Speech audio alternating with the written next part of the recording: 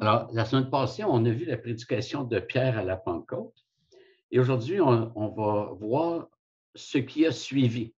Je vous avais dit la semaine passée qu'on allait revenir sur les, derniers versets de la section. Alors, c'est ce qu'on va faire aujourd'hui. Et le titre, c'est De la prédication à la conversion.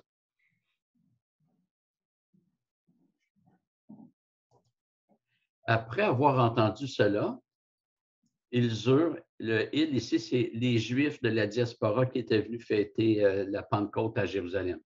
Ils eurent le cœur vivement touché et ils dirent à Pierre et aux autres apôtres, Frères, que ferons-nous? Pierre leur dit, Repentez-vous et que chacun de vous soit baptisé au nom de Jésus-Christ pour le pardon de vos péchés et vous recevrez le don du Saint-Esprit. Car la promesse est pour vous, pour vos enfants et pour tous ceux qui sont au loin, en aussi grand nombre que le Seigneur notre Dieu les appellera. Et par beaucoup d'autres euh, paroles, il rendait témoignage et les exhortait en disant, Sauvez-vous de cette génération perverse. Ceux qui acceptèrent sa parole furent baptisés et en ce jour-là furent ajoutés environ 3000 ans. Alors que le Seigneur bénisse sa parole, on va prier. Seigneur Dieu, on est vraiment euh, privilégié d'avoir ta parole. Euh, Seigneur, il y a même euh, une époque où chaque chrétien n'avait même pas une Bible dans, sa maison. Et Seigneur, tu as dirigé, tu as fait en sorte qu'aujourd'hui, tout chrétien peut avoir une multitude de Bibles. Euh, ta Bible est répandue gratuitement partout, Seigneur Dieu, et on est reconnaissant. Merci aussi parce que tu nous donnes d'aimer ta parole. Alors qu'avant, nous préférions les ténèbres à la lumière. Et Seigneur, tu nous donnes aussi de vouloir être transformés par ta parole. Seigneur, que tu puisses nous disposer pour qu'on puisse bien comprendre et être aussi désireux de mettre en pratique. Amen. Luc fait un lien entre la prédication de Pierre et ce qui suit. Il dit, après avoir entendu cela, ils eurent le cœur vivement touché. Donc, le cela, hein, pronom démonstratif, renvoie à tout ce qui a été dit avant dans le sermon. Pour qu'il y ait conversion, il doit y avoir audition de la parole de Dieu. La foi vient de ce qu'on entend, ce qu'on entend vient de la parole de Christ si nous voulons que les gens viennent à Jésus-Christ, ils doivent entendre la parole de Dieu, le message de l'Évangile. Euh, notre mission n'est pas d'attirer des gens à l'Église. Ça viendra, ça. Mais on doit les attirer à Jésus-Christ. Et c'est pourquoi la prédication doit être la parole de Dieu exposée et expliquée. Paul a écrit aux Corinthiens, Nous sommes en effet pour Dieu le parfum de Christ parmi ceux qui sont sauvés et parmi ceux qui périssent. Vous voyez, c'est le même parfum. Mais pour les élus, ils seront sauvés et pour les, les réprouvés, ils vont périr. Aux uns, une odeur de mort qui mène à la mort, aux autres, une odeur de vie qui mène à la vie. Et qui est suffisant pour ces choses? Car nous ne sommes pas comme plusieurs des falsificateurs de la parole de Dieu. C'est avec sincérité, c'est de la part de Dieu, devant Dieu et en Christ que nous parlons. La bonne odeur de Christ doit venir, doit, se faire dans euh, la propagation d'un message qui est pur, le message de l'Évangile. Et quand on prêche, donc je me parle en premier, et c'est la même chose lorsque chaque chrétien annonce l'Évangile ou communique des vérités bibliques, on doit le faire avec rigueur. Rigueur, si ce n'est pas austérité, ce n'est pas euh, dureté, mais rigueur, c'est, on ne veut pas déroger de ce que l'Écriture dit. On doit avoir un souci de ne jamais tordre le sens des textes et de ne jamais cacher quelque chose parce que ça pourrait heurter l'autre. Ça, c'est une pensée qui est malheureusement courante dans le monde protestant. Pas partout, heureusement, mais j'ai entendu ça que ah, on ne parlera pas de telle chose parce que ça va heurter du monde et ils ne viendront pas. Ben, s'ils sont heurtés et qu'ils ne viennent pas, c'est triste, mais ce n'est pas en leur disant ce qu'ils aiment entendre qu'ils vont venir à l'Évangile. Et Pierre a écrit sensiblement la même chose. Mais la parole du Seigneur demeure éternellement. Cette parole est celle qui vous a été annoncée par l'Évangile. Au chapitre 2, verset 2, Désirez comme des enfants nouveau-nés le lait non frelaté de la parole afin que par lui vous croissiez pour le salut. En 2008, il y a eu le scandale du lait fabriqué en Chine, du lait pour nourrissons principalement. Les fabricants avaient ajouté de la mélamine, c'est très toxique, mais ils avaient ajouté de la mélamine afin de faire paraître le lait plus riche en protéines. Le croyant doit désirer le lait non frelaté de la parole de Dieu. Euh, j'ai l'impression que si Pierre écrit ça, c'est qu'il est très conscient que certains vont altérer la parole. Ils vont mettre de la mélamine dans la parole et c'est toxique. Ils vont vouloir enrichir ou rendre plus agréable le lait, mais finalement, dès qu'on touche à la parole de Dieu, on la rend toxique. C'est impossible de toucher à la parole sans la rendre toxique. On est comme des enfants avec des, petits pinceaux et si on touche à une toile Picasso, c'est impossible de le faire sans l'altérer, sans l'aggraver. On ne l'améliorera pas. Et on peut penser à l'évangile de la prospérité ou encore de l'évangile bonbon, c'est-à-dire qu'il ne mentionne pas le péché. Le lait frelaté est toujours toxique. Et c'est encore plus vrai pour la parole de Dieu. Et frères et sœurs, nous avons dans l'Écriture, dans l'Écriture globale, nous avons l'aliment le plus pur qui soit. Il y a zéro impureté. La parole de Dieu ne soyons pas de ceux qui l'altèrent.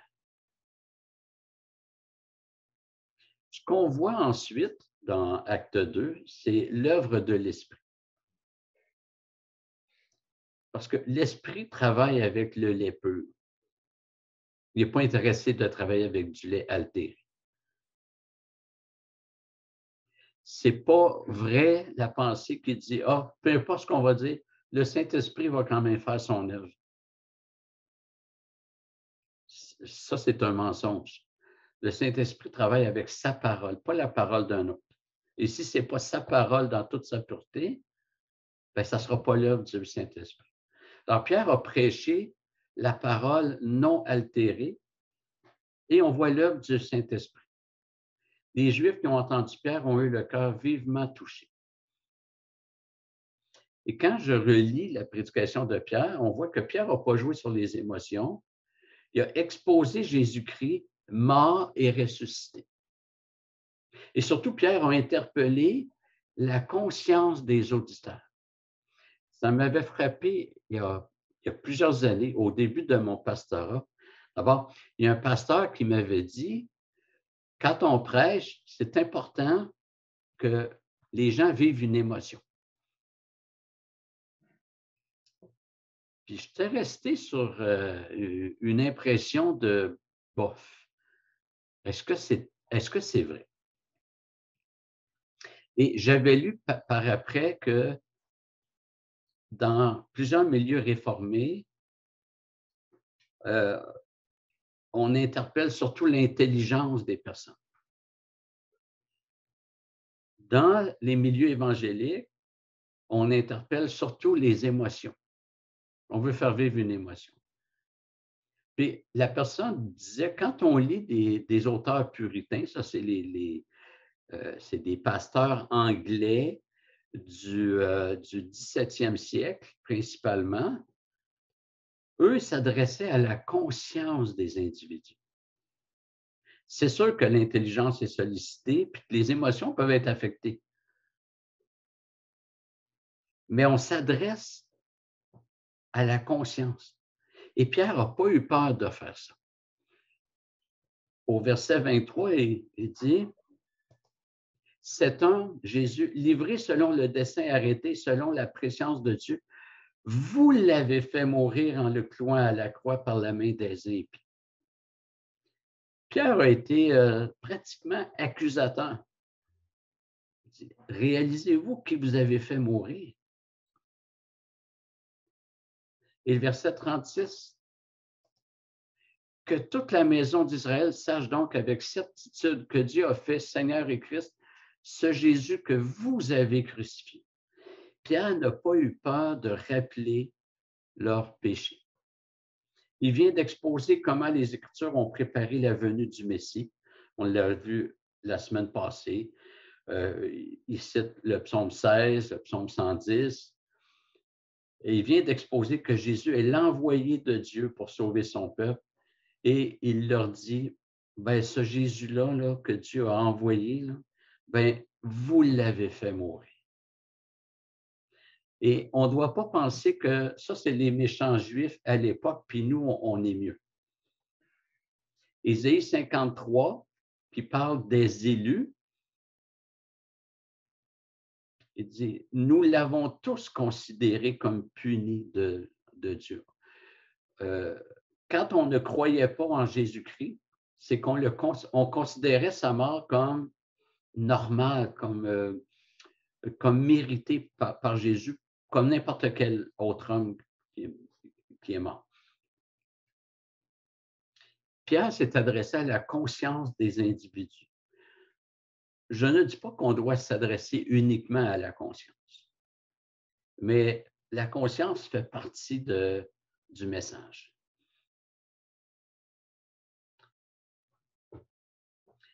Imaginez ces Juifs qui avaient fait un, long voyage pour venir célébrer la fête de la Pentecôte, de la Pentecôte juive, en l'honneur de l'Éternel. Ils, font un long voyage et ce n'était pas donné faire un voyage. Ils font un long voyage pour venir à Jérusalem pour honorer l'Éternel, puis joindre leur voix pour crucifier le Messie.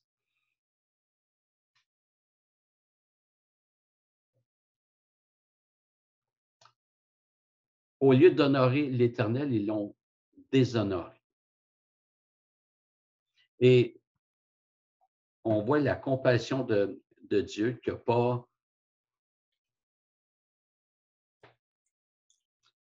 pas supprimé ces personnes-là. Le Père a répondu à la prière du Fils sur la croix, Père, pardonne-leur, car ils ne savent ce qu'ils font. Jésus n'a pas dit Père, je leur pardonne. Il a dit, Père, toi, pardonne-leur. Il a prié pour que Dieu ne ferme pas la porte du pardon à ces personnes-là. Et c'est ce qu'on voit dans Acte 2, que euh, y a des personnes qui ont été sauvées. Et la question des auditeurs suit la prédication ils dirent à Pierre et aux autres, l'apôtre, frère, que ferons-nous? Les Juifs viennent de réaliser qu'ils ont péché. On a les mains sales. Qu'est-ce, qu'on, qu'est-ce qui doit être fait? En fait, ce n'était pas encore la conversion, mais c'est une étape incontournable. On va voir ça euh, bientôt. Mais avant, le verset 38 dit Donc c'est Pierre qui répond, il dit, repentez-vous et que chacun de vous soit baptisé au nom de Jésus-Christ pour le pardon de vos péchés et vous recevrez le don du Saint-Esprit. La première chose que Pierre leur dit, c'est de se repentir. Repentez-vous. Quelqu'un a déjà dit que la seule prière qu'un inconverti peut faire à Dieu, c'est de se repentir. Parce que sinon, Dieu n'écoute pas la prière des réprouvés. Parce que toute prière doit passer par Jésus-Christ. C'est par lui, par le Fils, que nous avons les uns et les autres accès auprès du Père. Le non-chrétien n'a pas accès auprès du Père. Alors, la seule prière qu'il peut faire, c'est J'ai péché, pardonne-moi.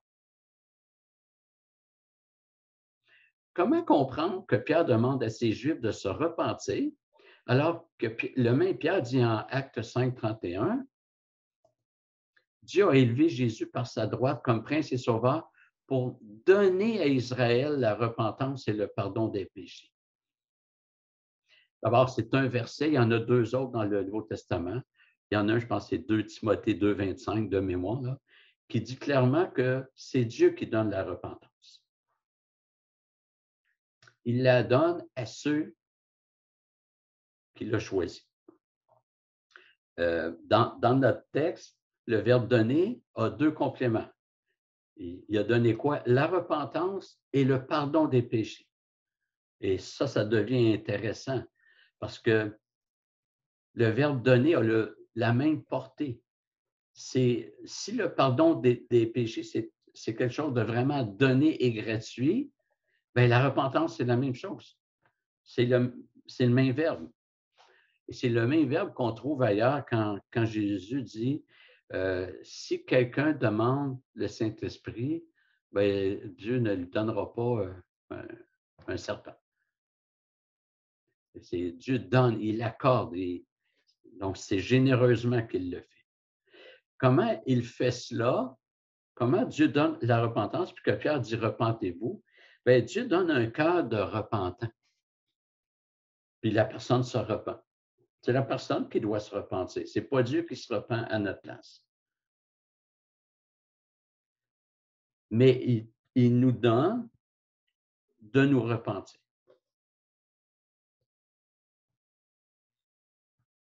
Et la repentance, c'est quoi? C'est la prise de conscience de son péché accompagnée d'un désir, d'un engagement à fuir le péché. La prise de conscience de son péché, c'est pas oui, j'ai péché, mais l'autre m'a fait ça avant, ou c'est à cause de mon enfance difficile, ou etc. Sinon, on répète l'erreur d'Adam quand il a répondu à Dieu, c'est la femme que tu m'as donnée. Il est en train de dire, oui, j'ai fait ça, mais c'est à cause d'elle. Puis en plus, c'est toi qui me l'as donné. Si on dit, ah, c'est mon enfance, on est en train de dire, c'est les parents que tu m'as donnés la repentance, c'est de dire je suis pécheur, je pêche, et on demande pardon. dans un engagement de fuir le péché. Et quand on chute, parce que ça arrive à tout chrétien, ce même, ce même cœur contrit réagit pour s'en repentir. Un cœur repentant, c'est un cœur qui continue de se repentir.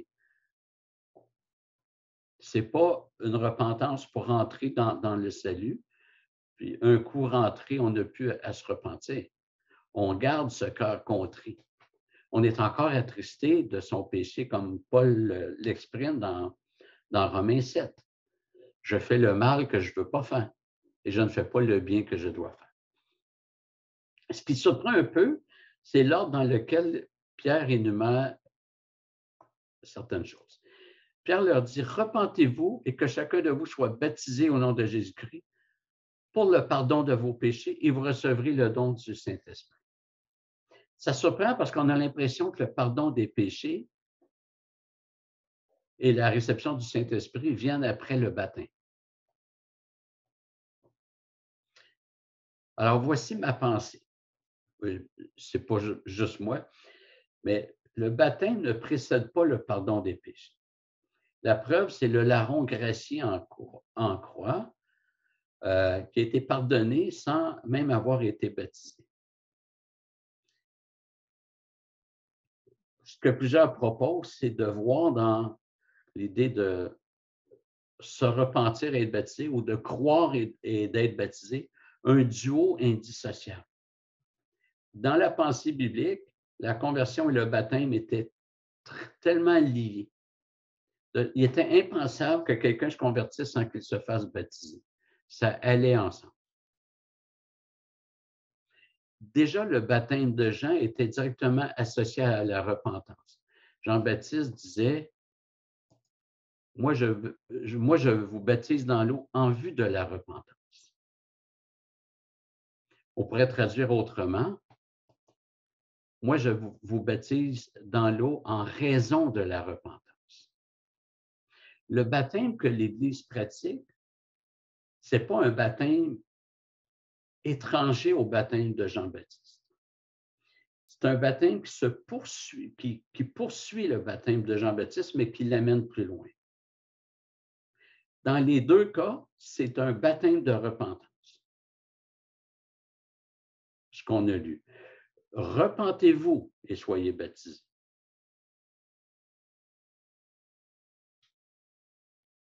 Et c'est, c'est un de, des, raisons pourquoi je, je, euh, je, n'adhère pas au, baptême des bébés, c'est que c'est les personnes repentantes qui se font baptiser. Repentez-vous et soyez baptisés.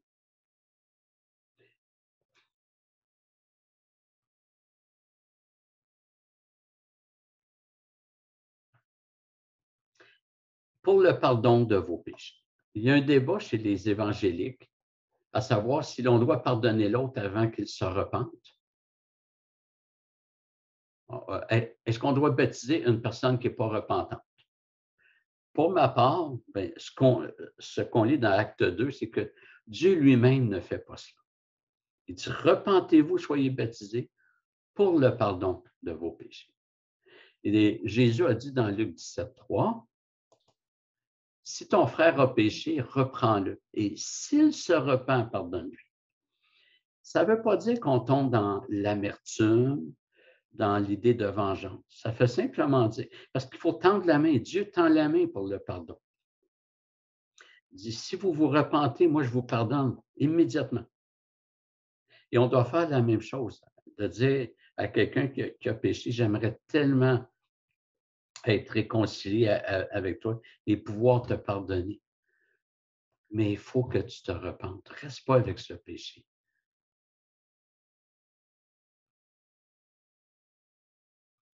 Ce qui est certain, c'est que tous ceux qui se repentent, Dieu leur pardonne. Quelqu'un qui dit oh, Moi, c'est parce que je n'étais pas élu. Non, repens-toi. Pourquoi tu ne te repens pas? Tu restes dans ton péché, tu aimes ça. Repends-toi. Jésus dit qu'il ne mettra pas dehors celui qui vient à lui. Si, tu n'y vas pas, Dieu ne t'empêche pas d'y aller. C'est toi qui ne veux pas y aller. Et avec le, pardon des péchés vient le don du Saint-Esprit. N'est, le mot n'est pas en lien avec les dons du Saint-Esprit.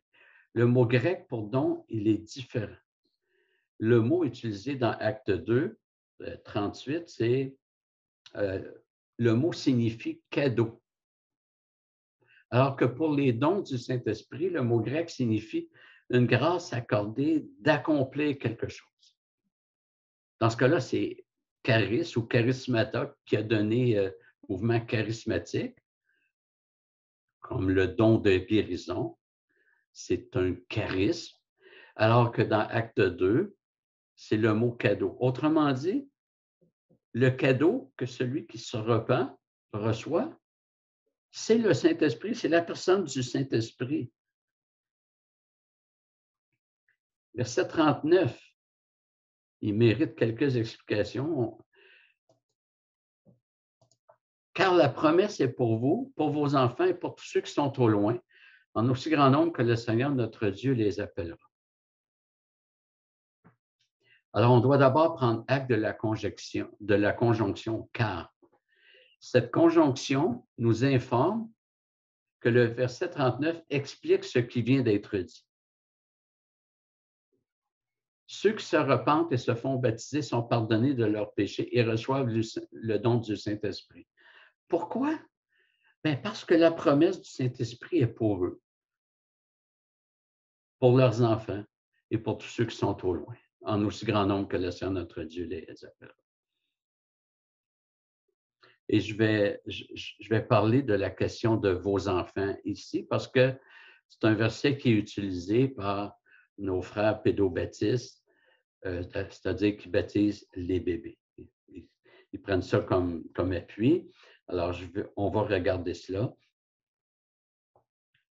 Donc, la promesse en question, car la promesse, c'est le Saint-Esprit. D'ailleurs, euh, euh, la promesse, euh, l'identité de la promesse, on le voit déjà au verset 33.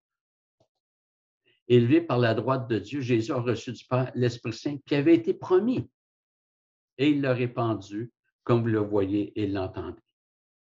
Et nombre de prophéties de l'Ancien Testament promettaient l'envoi du Saint-Esprit, dont celle de Joël que nous avons lue.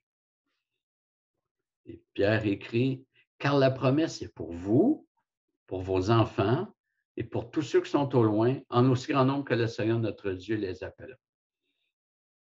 Le pour vous se réfère aux Juifs. C'est des Juifs qui sont devant lui. Pierre respecte l'ordre que c'est pour les Juifs d'abord, puis le grec. Pour vous, pour vos enfants, pour tous ceux qui sont au loin. Donc, Pierre mentionne aussi que c'est pour leurs enfants. Et ici, je dois vous dire que euh, nos, frères pédobaptistes euh, excluent la clause finale concernant les enfants. La clause finale, c'est en aussi grand nombre que le Seigneur notre Dieu les appellera. Moi, je suis d'accord à dire que c'est pour le croyant, pour ses descendants, en aussi grand nombre que Dieu les appellera. Ce n'est pas pour tous les enfants, pas, pour toute la descendance, mais ça va selon l'appel, l'appel de Dieu.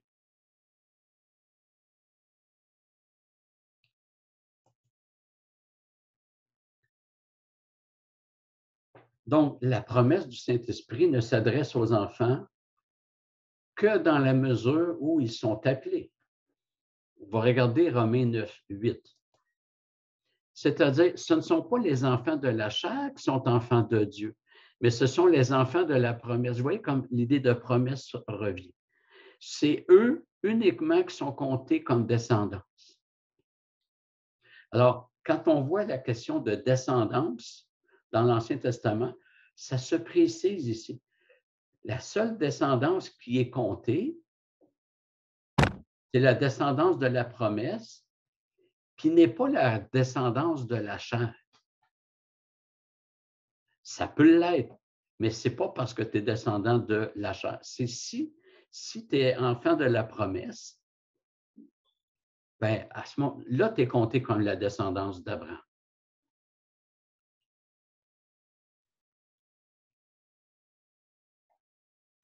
Quand Pierre mentionne que la promesse est pour les Juifs, pour leurs enfants, il, annonce simplement que parmi leurs enfants, il y en a qui vont recevoir la promesse du Saint-Esprit. Ce ne sont pas tous les enfants, tous les descendants. C'est en aussi grand nombre que notre Dieu les, appellera. Et vous remarquerez que je, vais, je vais, remettre le verset euh, précédent. Euh, il dit, et pour tous ceux qui sont au loin, Là, ils ne parlent pas de leurs enfants. Ce que Pierre est en train de... Donc, ceux qui sont au loin, c'est les non-juifs. Donc, c'est pour les juifs et leurs descendants. Autrement dit, Dieu va continuer de sauver des juifs, mais pas tous. Et il va en sauver aussi qui sont trop loin, qui ne sont pas juifs.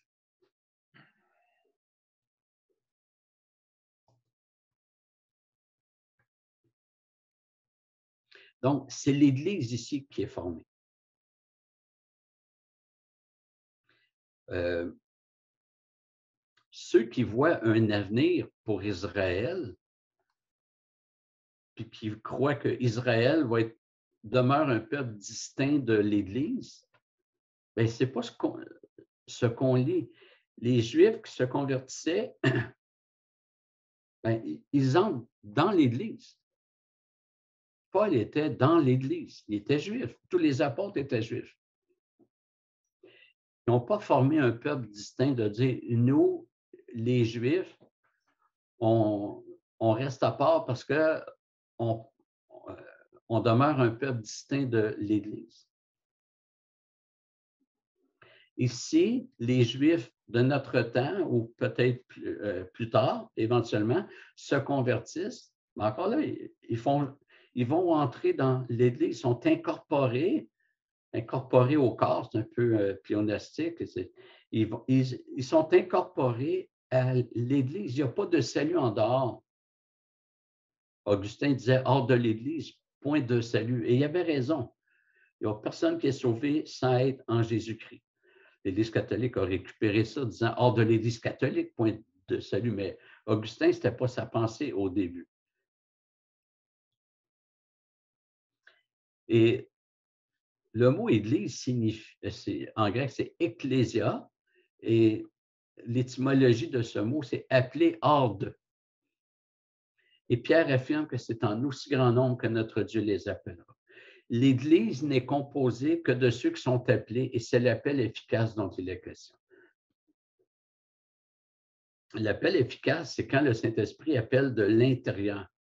Ce n'est pas un appel général lancé par un prédicateur ou même par Jésus quand il prêchait au foot. Et Jésus avait dit dans ce sens-là, il y a beaucoup d'appelés, mais il y a peu d'élus. Dans le contexte, c'est Jésus qui appelait de façon extérieure. Mais quand on parle de l'appel efficace, c'est le Saint-Esprit qui appelle de l'intérieur. Et cet appel, on dit qu'il est, il est efficace parce qu'il produit toujours l'effet. Ça produit toujours le salut. Et dans ce sens, Paul a dit, et ceux qui l'ont prédestiné les ont aussi appelés.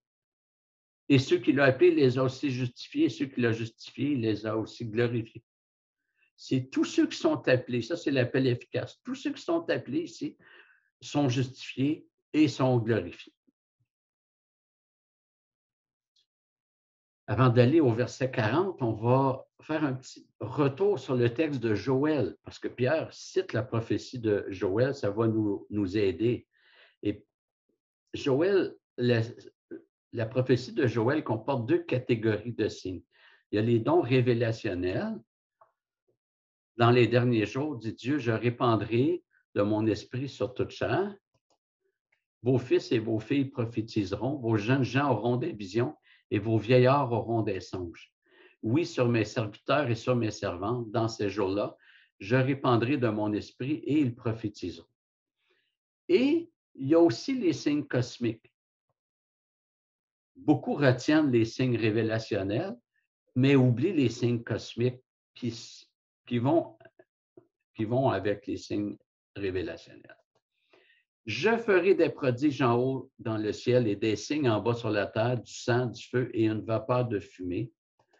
Le soleil se, changera en ténèbres et la lune en sang avant que vienne le jour du Seigneur, ce jour euh, grand et magnifique. Personnellement, je ne crois pas que les signes cosmiques doivent être interprétés littéralement ça faisait partie du langage des prophètes de l'Ancien Testament pour parler du jugement de Dieu. Euh, et c'est fréquent dans, la Bible. Euh, les, euh, les, démons sont, sont appelés des, des étoiles. Jésus est appelé l'étoile du matin, etc. C'est très fréquent. Mais surtout, j'aimerais porter votre attention sur la manière par laquelle Pierre introduit la prophétie de Joël. Pierre a dit, ces gens ne sont pas ivres, comme vous le supposez, car c'est la troisième heure du jour. autrement dit, il était trop tôt pour prendre un coup. La SOQ était fermée à cette heure-là. Mais le verset 16 dit, mais c'est ce qui a été dit par le prophète Joël. Là, vous, je vais paraphraser. Pierre dit aux, Juifs, vous avez vu le vent impétueux, les langues de feu, vous nous avez entendu parler en langue. Bien, ça, ce que vous avez vu là, c'est ça qui avait été dit par le prophète Joël. Le c'est, là, il y, a un, il y a un démonstratif là-dedans, c'est apostrophe. Ça renvoie à ce que vous avez vu et que vous interprétez comme de l'ivresse. Il dit non, non, non. Ce que vous voyez, ce que vous entendez, c'est ça qui a été dit par le prophète Joël. Et là, Pierre donne les signes révélationnels ainsi que les signes cosmiques. Pierre ne dit pas que la, première partie de la prophétie de, de Joël, c'est ça que vous avez vu. Puis les signes cosmiques, ça, c'est une autre génération qui va voir ça plus tard. L'ensemble de cette prophétie, c'est ce que vous voyez. Alors, ça rend difficile une interprétation littérale.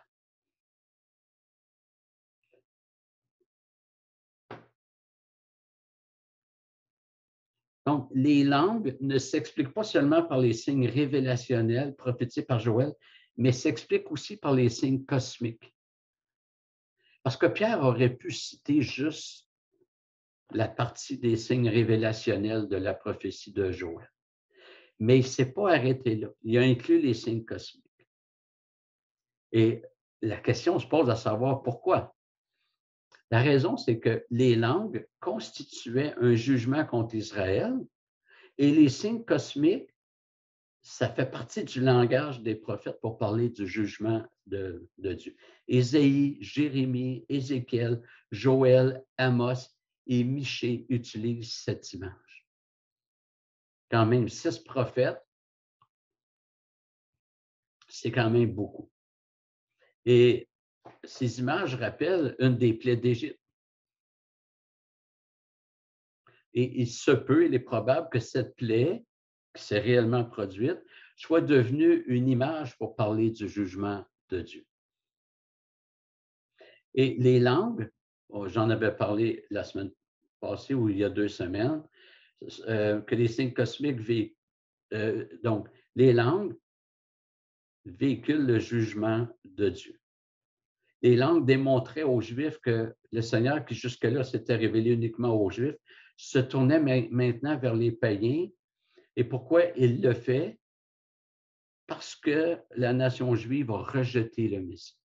C'est en raison, c'est un jugement, c'est en raison de son, son rejet du Messie que Dieu se tourne vers les païens. Donc, le fait que les langues soient dans des langues euh, étrangères, ça montrait que Dieu se détourne d'Israël comme nation pour se tourner vers les païens. Vous êtes disqualifié, Israël, vous, vous avez rejeté le Messie. Et les signes cosmiques, c'est aussi du langage de jugement et ça va ensemble. C'est ce que le prophète Joël avait dit. Et Jésus avait dit en Matthieu 24, 1 et 2, comme Jésus s'en allait au sortir du temple, ses disciples s'approchèrent pour lui en faire remarquer les constructions. Mais il leur répondit, Voyez-vous tout cela, euh, donc les constructions du temple? En vérité, je vous le dis, il ne restera pas ici pierre sur pierre qui ne soit renversé. Jésus annonce la destruction du temple, une destruction définitive. Le temple était au cœur de l'alliance mosaïque, l'alliance avec Moïse, et cette alliance devait prendre soin, prendre fin plutôt. Et l'auteur de l'Épître aux Hébreux parle du fait que la nouvelle alliance met fin à l'ancienne. En appelant nouvelle cette alliance, il a rendu ancienne la première, Or, ce qui est ancien et vieilli est sur le point de disparaître. En fait, il y a eu un chevauchement, c'est-à-dire que la nouvelle alliance a été établie euh, par la venue de Jésus, mais l'ancienne a continué d'œuvrer, si on veut, d'être en force, jusqu'à que le temple soit détruit. Donc, c'est en l'an 70. Ça, on le sait par l'histoire la, Bible ne mentionne pas l'année, mais on le sait par l'histoire, c'est un fait très bien établi, autant par les Juifs que par les chrétiens que par les, historiens païens. Euh, il y a eu un chevauchement des deux alliances. C'est ce qui explique que Jésus a pu dire à une personne qui avait été guérie, va présenter au sacrificateur l'offrande prévue.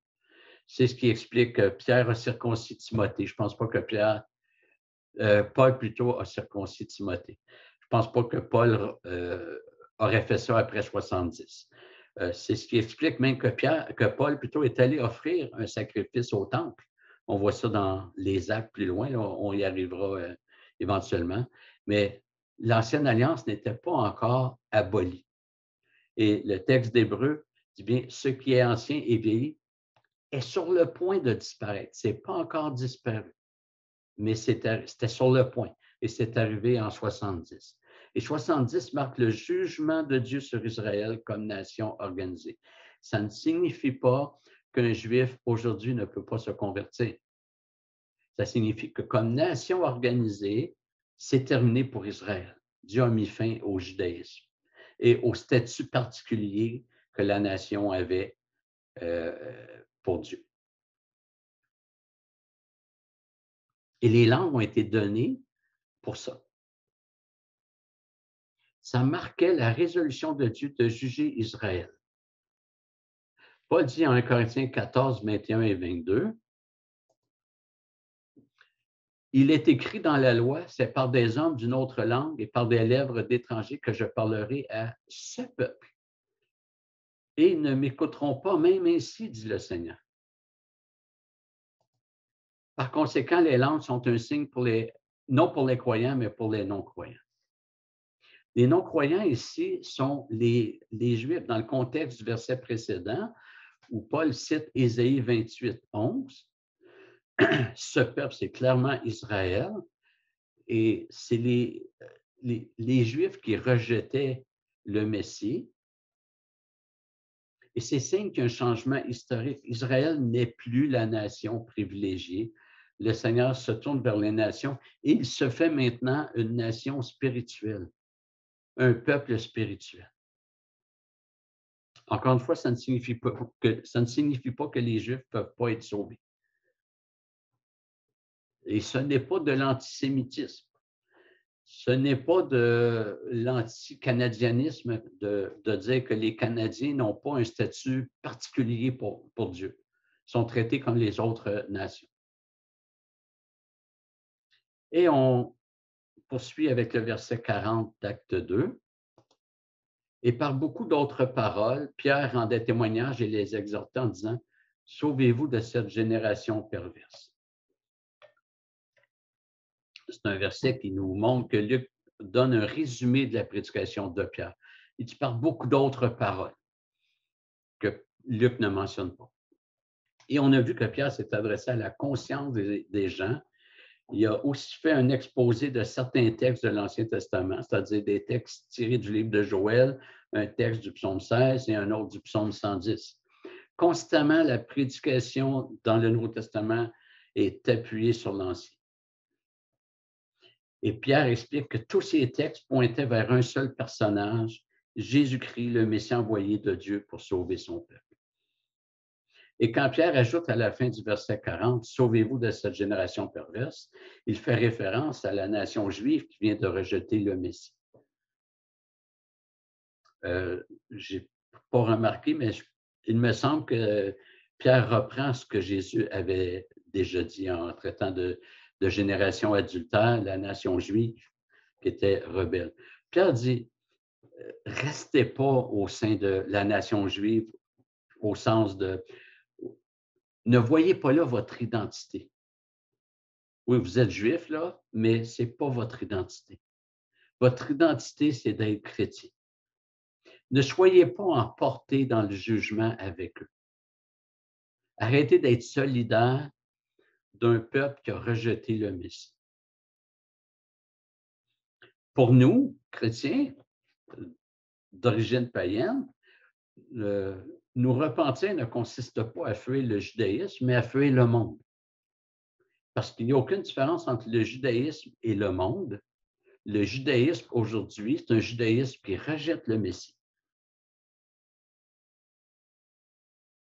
Les deux le judaïsme et le monde rejettent Dieu. Les deux renient le Christ. Les deux vivent en pays. Et on termine avec le verset 41. Ceux qui reçurent sa parole furent baptisés. et en ce jour-là furent ajoutés environ 3000 ans. Voyez le développement. Les gens ont entendu hein, de la prédication à la conversion. Ils ont entendu la prédication, se sont convertis, hein, repentez-vous et soyez baptisés. Et ce sont ceux qui ont reçu la parole qui ont été baptisés.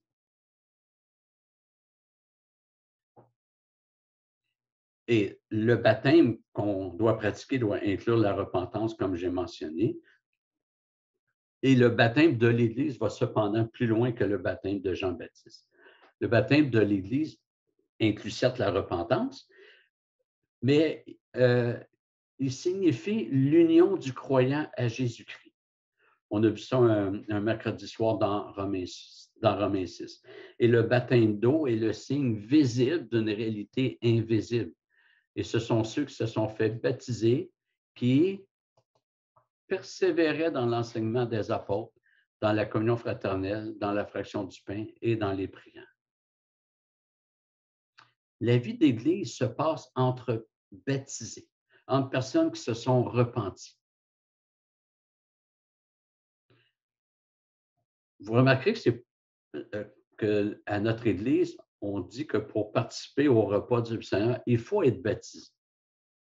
Et acte 2 est tellement limpide sur ce point-là.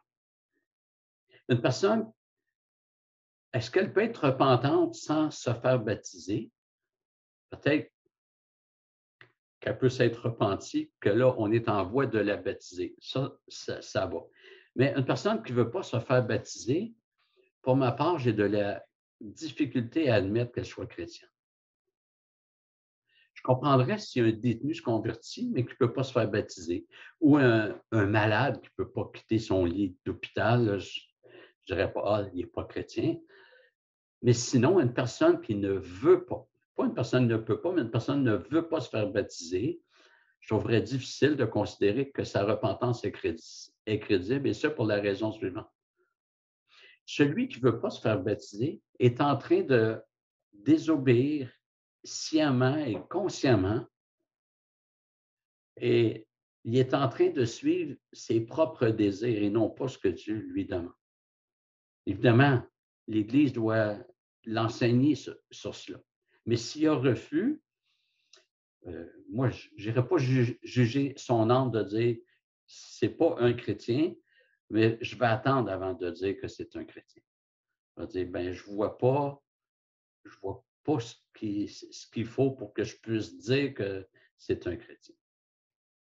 Parce que ce n'est pas juste les paroles qui sont importantes, il y a les gestes aussi. Rapidement, quelques applications. D'abord, la prédication de Pierre est très intéressante à étudier comme prédication. Elle est foncièrement établie sur les Écritures de l'Ancien Testament. Et plusieurs chrétiens pensent que l'Ancien Testament ne nous concerne pas c'était pour les, Juifs. Mais c'est tout le contraire que nous voyons dans le Nouveau Testament. Et le Nouveau Testament nous apprend que l'Ancien Testament n'est pas que pour les, Juifs. Dans 1 Corinthiens 10, Paul va citer, euh, va, va, rappeler la traversée du désert dans l'Ancien Testament. Et Paul va dire, ces choses ont été écrites pour nous, nous pour qui la fin des temps est arrivée, la fin des siècles est arrivée. il dit, c'est pour nous. Euh, il va citer Deutéronome dans 1 Corinthiens 9, je pense, il va citer Deutéronome qui dit, tu n'enmuselleras point le bœuf lorsqu'il faut le grain. Paul dit, ça a été écrit pour nous. L'Ancien Testament a été écrit pour nous. L'eunuque éthiopien a reçu tout un enseignement sur l'Ancien Testament afin de connaître Jésus-Christ. On voit ça dans Acte 8. Philippe l'a enseigné à partir de Moïse et des prophètes sur tout ce qui concernait le Messie. Le gars s'est converti, s'est fait baptiser. Les disciples d'Emmaüs trouvaient ça dur d'avoir appris que Jésus était mort. Ils n'avaient pas reconnu qu'il y avait Jésus devant eux.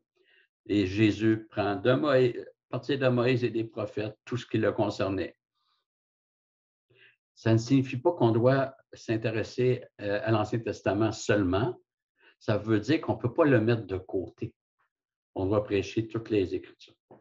Le deuxième point, c'est que l'Église primitive était credo-baptiste, c'est-à-dire qu'elle ne baptisait que ceux qui recevaient la parole. Credo veut dire croyant ou croyance. Et baptiste, le mot est connu. On est credo-baptiste. On baptise ceux qui font une profession de foi euh, crédible. Et ce point dans notre confession de foi, qui dit ceux qui professent de fait la repentance envers Dieu et la foi et l'obéissance au Seigneur Jésus-Christ sont les seuls sujets, aptes à recevoir cette ordonnance. C'est dans le chapitre sur le baptême, donc c'est l'ordonnance du baptême. Certains chrétiens posent la question légitime à savoir si l'Église ne devrait pas baptiser immédiatement celui qui se repent. Et il y a des églises qui, qui font ça, de, dire, il y a un culte de, baptême, il y en a-tu d'autres qui veulent venir? Il y a, même un, ancien pasteur qui m'avait dit, lui, quand il, y avait un culte de baptême, il disait aux, autres, il reste de l'eau dans le baptistère s'il y en a qui sont intéressés. Il me semble que ce qu'on voit dans le Nouveau Testament, c'est qu'il y a une différence entre les baptêmes faits en Palestine et ceux faits en dehors dans le monde gréco-romain. Pour les Juifs qui se faisaient baptiser immédiatement, ben, eux avaient été enseignés depuis leur tendre enfance sur le Messie à venir. Quand on leur présentait Jésus-Christ comme Messie, il y avait déjà tout un bagage que les, que les païens n'avaient pas. Et on va voir éventuellement encore dans Acte 8 que Philippe enseignait longuement les gens de la Samarie, puis le nuque éthiopien avant de les baptiser.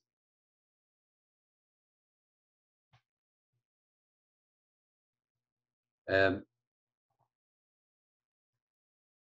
donc, l'Église doit s'assurer que les gens comprennent le geste qu'ils posent. L'Église n'a pas, cette période-là n'est pas pour permettre à la personne qui veut se faire baptiser de montrer un certain niveau de sainteté, mais de s'assurer que la personne comprenne l'engagement qu'elle prend en se faisant baptiser. La dernière application, au verset 40, et par beaucoup d'autres paroles, Pierre rendait témoignage et les exhortait en disant Sauvez-vous de cette génération perverse.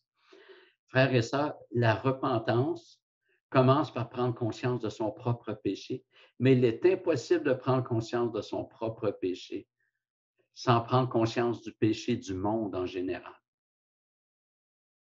Le monde est corrompu, souillé, pervers. Nous devons en prendre conscience pour le fuir. Donc, ce n'est pas juste une prise de conscience sur nous-mêmes. Elle est nécessaire, mais elle est insuffisante. On doit prendre conscience que le monde est foncièrement péché. On doit fuir les pratiques du monde, les pensées du monde, parce que tout est souillé. Si nous nous sommes repentis, nous nous sommes aussi repentis d'avoir marché comme le monde rebelle.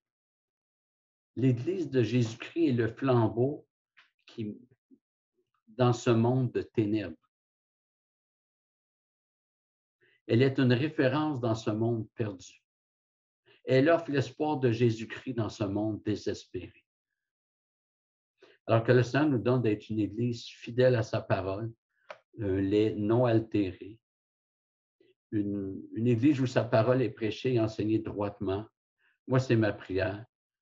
Une Église qui applique la parole de Dieu pour me briller dans ce monde. C'est ma prière aussi. Que le Seigneur vous bénisse, on va prier. Seigneur Dieu, merci pour euh, ce, chapitre d'Acte 2 qui nous informe tellement sur l'Église que tu bâtis. Et Seigneur, on, est encore une nouvelle Église. on arrive bientôt à notre première année dans quelques semaines. Et Seigneur, euh, c'est notre prière qu'on puisse chercher être fidèle à ta parole. On ne veut pas miser sur euh, le nombre, même si on souhaite euh, évidemment euh, grandir en nombre. On ne veut pas miser sur les moyens du monde. On veut juste être fidèle à ta parole. Donne-nous, Seigneur, de grandir dans ce qu'on a vu et qu'on puisse être une Église qui brille pour toi. Amen.